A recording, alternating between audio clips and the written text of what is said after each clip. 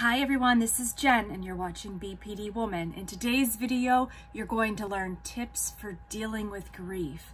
And I'm not just talking about grief that comes with the passing of a loved one or an animal, but I'm talking about grief that comes from the loss of something important to you like a relationship. Aside from dealing with grief, we're going to give you some tips on looking at patterns in your past relationships, where this grief may come from. I'm also going to give you an examination on the comparison between trauma bonds, um, former relationship patterns, and how those affect where you are as an adult today. Well, if that all sounds good to you, let's get going. Again, my name's Jen and you're watching BPD Woman. Help me out. Would you hit like, share, subscribe, comment for me below? The button is just right there. Um, doing so will help me get these videos pushed out and help more people that are in need of this kind of information. And I tailor my videos to those of us dealing with BPD, CPTSD, and those who feel they are highly emotional or sensitive persons that have difficulty regulating emotions. I offer positive solution solution-based approaches to recovery, focusing on my own therapeutic experience, which has spanned the last 20 years of my diagnosis, although I believe I have lived with borderline for the last 30. I have done several, several rounds of DBT, in-person, group, one-on-one -on -one therapies, I've read books, I've done workbooks, I stay on top of trends and research, and I look at all kinds of things, and then I gather that all up and I share it with you. And while I am not a psychologist or a DBT specialist, I can answer one question that most of those folks cannot, which is, what is it like to live with borderline? And in doing so, I offer you an insight and nuances that your therapist just can't provide because they just don't live and breathe this every day. But I do recommend that you get one and you stick with the program. Today, we are going to be talking about grief, and this comes from another video viewer and so thank you. Um, I, I did a, every several months, I'll put out a short video asking for your video suggestions. So if you ever have a video suggestion, you can drop me a comment um, below, or you can email me at womanbpd at gmail.com. That's W-O-M-A-N-B-P-D at gmail.com. This um, great suggestion. And all of these suggestions have been great. And so thank you very much. Um, I'm going to read what uh, this subscriber and viewer uh, requested. Hi, Jen. And this is from Wandering Nowhere. Hello, Wandering Nowhere. He says, or she says, excuse me. Hi, Jen. Have you discussed about grief before? Not necessarily when someone dies, but when it comes to losing people you wanted to keep in your life. I am still obsessing over one person and losing my mind nearly two years on. Any new situation I'm in, I keep thinking about them because they, at one time, understood and were supportive in a way no one else has. I wish that I could forget it all. Well, thank you so much for your honesty and for your um, sharing this with all of us. Um, I've definitely found myself in a position like this, and I think that um, I can offer you some insights. So um, first, you know, let's talk about grief. You know, what is it? Well, grief obviously is dealing with a deep loss. And I think that's sort of the easiest way that you can kind of put a short label on it is, you know, we deal with grief when we someone moves away, um, when a pet dies, when a person passes away. And those types of grief are a little bit different because it's very final, right? Uh, with death, you know, um, there's no making amends. There's no trying to get them back in your life. You know, there's no more see you next weeks. There's never really a chance to have a reconciliation. But when it comes to a relationship or a situation that is a deep loss, right? Whether that's because you decided to end it or they've ended it or they don't want to speak with you anymore or you've lost your job or whatever the case may be. Um, it's, it's different because they're still alive. And so in some ways, at least I've said to myself, well, you know, if someone passes away, like there's nothing I can do about that anymore. But when someone's still alive, at least in my mind, my mind goes to how can I fix this? How can I fix this, right? And there's a lot of things that I want to unpack um, from this message. So first, let me say that I have experienced um, this type of grief before, wandering nowhere. And I have, um, and I will share that experience. But before we get there, I'm just going to unpack this a little bit. Um, a couple of things that I pick out of this is the obsession and the rumination. And that's something that I, I have dealt with many, I mean, even still sometimes. I think that, you know, I still have ruminated, ruminating thoughts and sometimes I can get obsessed about thinking about something. I just think now the difference is, is that I've developed um, more effective coping mechanisms in dealing with that. And so that rumination is a tough one. And, you know, the mind thinks that, well, if we just keep thinking about it, we'll be able to figure it out. If we just think about it again, we can maybe figure this out. And, and sort of the, the mind trap is that if you keep ruminating and kicking around your brain that it's somewhere in all of that ruminating, you may come up with a solution you won't. In fact, the best thing that you can do is to give your mind a break and distract on something else. Sort of like when you're studying for vital exams or something like that, and you know, you're just hitting it, hitting it, hitting it. At a certain point, your brain is like, okay, I've had too much. I need to go do something else. And that, that just has proven to be a more effective way of learning by taking breaks and giving your mind a break. So I've had, I have a very popular video um, out of my videos anyway, and it's, it's about obsessive rumination. And so please check that out again, or if you haven't checked it out, it could be very helpful when it comes to the obsession and the, and the rumination. Um, also note the um, length of time. So Wandering Nowhere says it's been two years, right? And there's definitely no time limit for grief. You know, sometimes you may go a day and not think about it at all. Um, I have been in situations where, you know, and about the person I'm going to speak about, I have like only stopped thinking about them when I was in a relationship with someone else. And then several years went by. And then I rarely think about them very much anymore. And so two years is, it's all relative, you know? So I know two years may seem like a long time and in your mind, you're like, when is this gonna go away? When is this gonna subside? And there is just no answer. Um, so it may be a little bit less sometimes. Um, it may be a little bit more.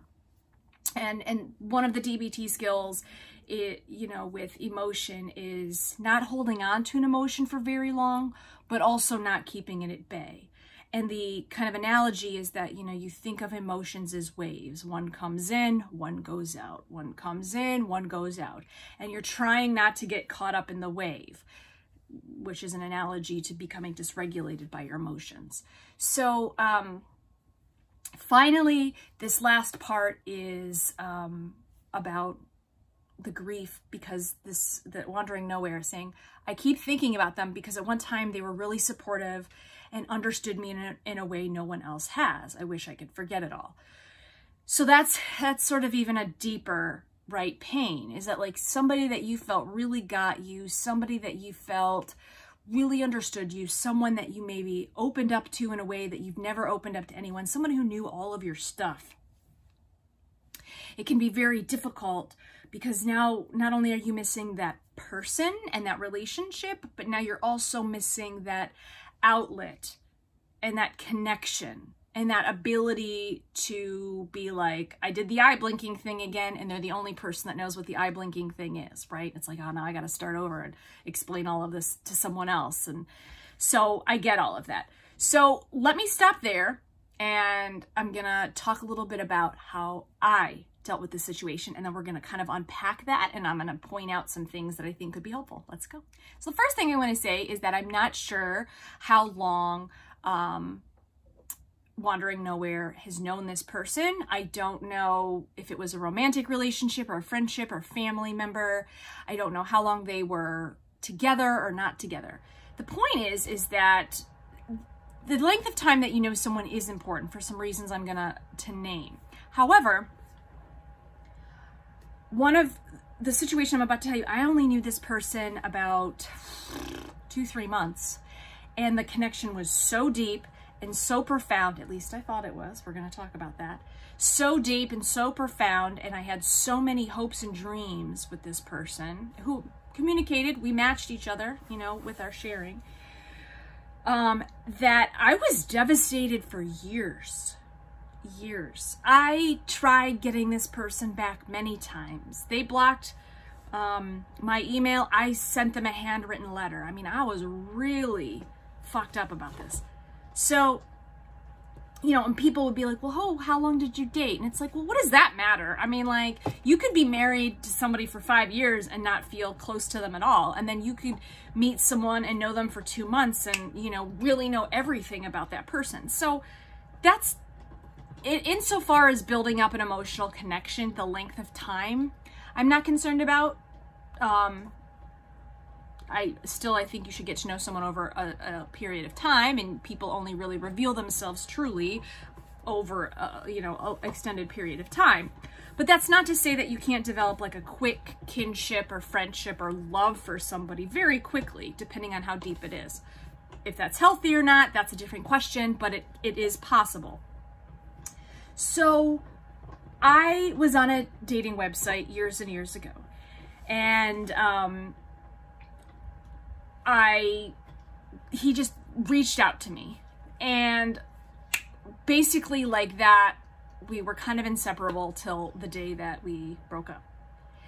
And um, a long story short, I was about to move out of my apartment and go into another apartment. I had it all um, settled. We started dating pretty hot and heavy. Like our first date lasted four days.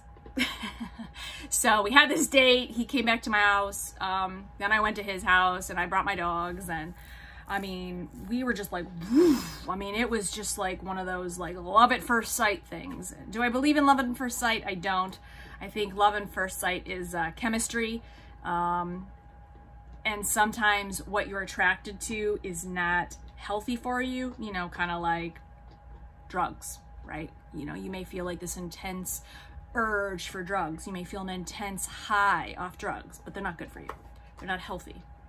So um, it was really hot and heavy. And he said, and he lived about 60 miles away from where I lived. And he said, well, if you're moving, why don't you just come and move, live it with me? And I said, oh my God. I was like, this is crazy. This is crazy. Like even the day that we were moving my stuff from my place into his, we kind of got in an argument. And I was like, and I said out loud, I was like, this is a mistake. And he was like, I mean, he told me he loved me first. He told me he loved me like within four days. Um, and he was very supportive. He came to a therapy session, you know. I told him about my diagnosis, which is not something that I had really done with people before. Um, he wanted to know. He started reading a book. And then the reality kind of set in, right? And by, and by the way, along the way, we're talking about having kids and we're talking about getting married. And then sort of the reality started to set in a bit. And um, the reality was, was that I have BPD. And at that time, I hadn't really gone through a DBT course um, in a number of years. And I was not in a great interpersonal place. Um, I was sober, but I just wasn't really making solid relationship decisions. And even for me, for someone who has sort of always rushed into relationships, even this one felt very rushed. So I'm living there, and after about a month, so I've made this whole move. I've moved 60 miles. I've moved all my stuff in. And after a month, he goes, well, I want to keep dating you, but I don't think living together is working out. So I'll give you a few weeks, but you have to move out. And I was like, what? Um, and I was like, well, if I move out, I don't see how we're going to continue to date. And um, he was like, oh, no, no, yeah, um, yes, we will. And he was like really upset that I had said that. And I was like, how could you be surprised that I, you're basically kicking me out after I've uprooted everything. I've given up this apartment. This apartment is gone. And now you want me to leave. So um, he's like, no, no, I promise we're gonna like work things out and everything's gonna be good. And um, the date that I moved, like that the movers came, he decided that that was the day that he would break up with me. Yeah.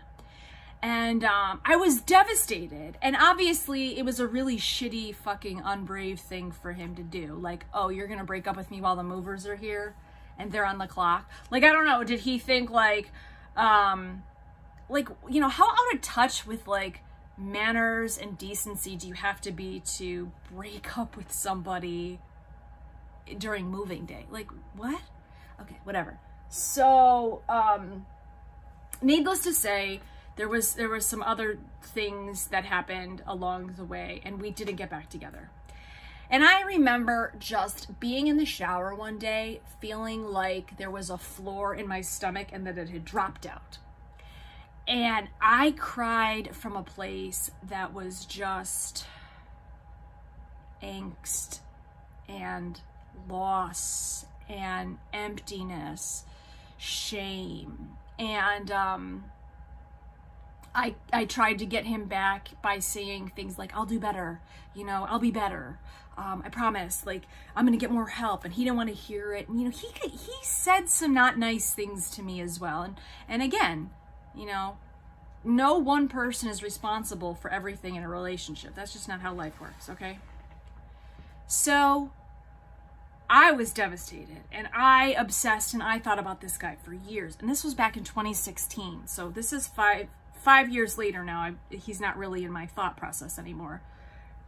But even up until two years ago, three years ago, I was like, you know, I was like thinking about him or I'd look him up online.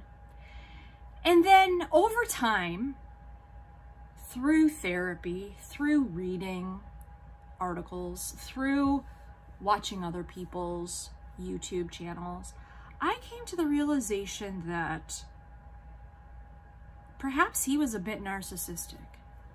And perhaps he was just as emotionally dysregulated and unstable as I was. I mean, think about it. You invite somebody to come live with you after knowing them a few weeks. Um, you tell somebody to move in and then you kick them out a month later. Um, you say that you're going to support them, but then you get 10 pages into a book and you stop reading. Because as you said, as he said to me, I don't need to read that book. I live with borderline every day. What? What kind of fucking asshole thing is that to say? But at the time, I didn't think it was a shitty asshole thing to say. I thought like, oh yeah, he's right. And then later in therapy, you know, my DBT counselor, she was just mortified. She was like, that is a really mean thing to say, Jen. And I was like, is it? And she's like, yes. So over time, the way that I began to unpack this was for years, I thought in my head, the narrative was, he's perfect. We were meant to be. I fucked all this up. How can I get him back? Right? Those were the things. But then over time, I began to realize more and more that I was really focused on the fantasy instead of the reality. And so this is the first part in dealing with grief, is that being fixated on the woulds and coulds and mights and how it could be and how you talk about things um, that will be in the future. Some people call this future faking the promises that we're going to get married, that you're going to live here, I'm going to love you, we're going to, all this other stuff. I'm going to move in with him. That is all great to talk about, but I mean, the proof is in the pudding, which means that, you know, money talks and bullshit walks. So you either put up or you shut up. And so saying all those things is very romantic, but when you actually put them into motion, that's a bit more difficult. So the first thing was that, and I offered this um, next suggestion I'm going to give in, in one of my videos called um, uh, the BP, the BPD NPD relationship trap. And I made several lists um, about what I wanted out of the relationship and what I got. I made lists about what he promised me and what he actually did. I made lists about how I wanted to feel and how I ended up feeling.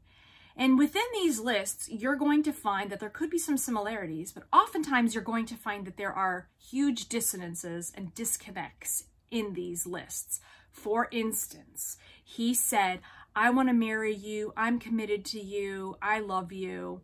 Now get out of my house. Okay. Um, I want to support you with Borderline. I'm going to um, read this book.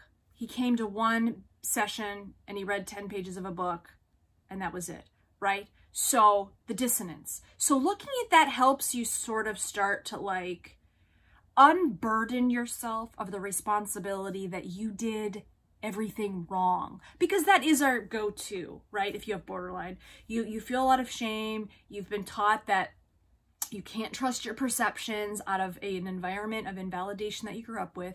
And now you really have a hard time trusting your judgment. And so obviously you must be the problem because you always were. Okay. So making these lists starts to break down and help you see that I didn't really do all of this stuff. This wasn't really all me. So I like to call that putting it on paper. All right. Um, the second thing here is that and I'm just looking at some notes, um, while you're trying to gain perspective on the relationship, you want to check the facts of that relationship. For me, I thought this guy was committed and he loved me and that we were going to be together and that he would live up to his promises. Like he said things like, my relationships are more important to me than um, my job. Well, that wasn't true. His job actually, he chose his job essentially over me. So when you check the facts, and this is another DBT skill, when you're feeling really emotionally dysregulated, for instance, I caused him to run away from me. Well, okay, sure. I, you know, my emotional instability, some of the other things that I may have done, of course, contributing factors. However, there were also things that he said he was going to do that he didn't. And when you begin to check these facts, again, this sort of goes back into the putting it on paper exercise. You unburden yourself from some of the responsibility that you had everything to do with this. And why we do that is so that we gain a better perspective and a more clear perspective about owning what's what, right? Because remember, with our black and white thinking, we have a tendency to idolize or devalue. We, you know, you're either the, the, the goddess of our world or you're a piece of shit and I've blocked you forever. Well, ni neither of those is actually true. It's always somewhere in the gray zone, or what I like to call gray zone thinking. The third thing that I like to, to point out is, again, recognizing the trauma bonds. And again, in my BPD, NPD relationship trap video, I talked a lot about what the trauma bond is. And I talked a lot about why those of us with BPD may end up with certain relationship types than others. And it, and I recommend that you take a look at that video to go into more about trauma bonds. And I will produce a longer video just specifically on trauma bonds. But you want to look at the situation clearly through a trauma bond lens and you want to ask yourself, is this a traumatically bonded relationship? Is this actually healthy? Does this criteria of my relationship match up with the criteria that I have been reading about with trauma bonds. Why you want to do this is first of all, because trauma bonds are not healthy. And second of all, you want to make sure you're not romanticizing your situation.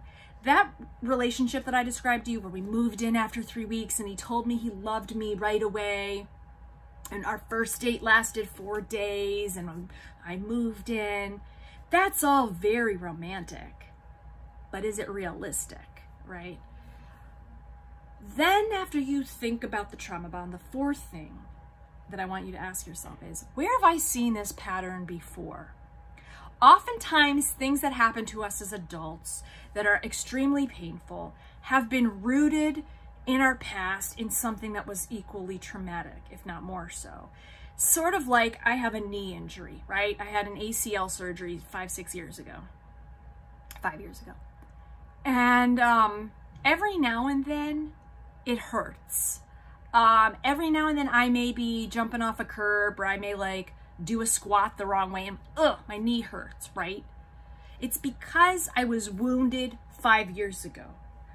But even now, in, in the present day, long after the surgery and the rehab, I still have pain. And the same is true of your emotional wounds. And so you want to look at patterns and say, okay, why does my knee hurt? Okay, well, I know why my knee hurts. That's an obvious one. But why do I miss this person so much?